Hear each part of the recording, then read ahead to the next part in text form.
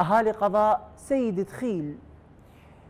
يقطعون الكهرباء عن منزل محافظ ذي قار احتجاجا على أزمة شح المياه. يقطعون الكهرباء على منزل محافظ ذي قار. الدولة وين؟ الشرطة وين؟ والله ما أدري واحد يقول حاجة يعني مرات واحد يقول عمي عندهم حاق مرات يقول عمي هاي بلطجة ما أدري يعني والله ما أعرف. زين أدري ليش ما عندهم مي؟ زين ليش ما عندهم مي؟ صدق والله يعني ليش ما عندهم مي؟